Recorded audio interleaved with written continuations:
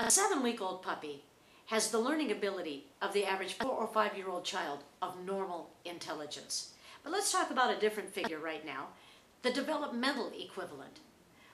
The first one year of a dog's life is equivalent to raising a child through the 15th year. The ratio is for every one month the dog is, you multiply it by one and one quarter human years. A six month old puppy times one and a quarter would be the developmental equivalent of a seven and a half year old child with the learning ability of a five year old. You see, if you ask too much from your dog or too little, because big dogs get so big so fast, we tend to expect far more than they're capable of performing. Little dogs stay so little, we don't expect as much as they should be able to perform. Whether you ask too much or too little, you'll get rebellion.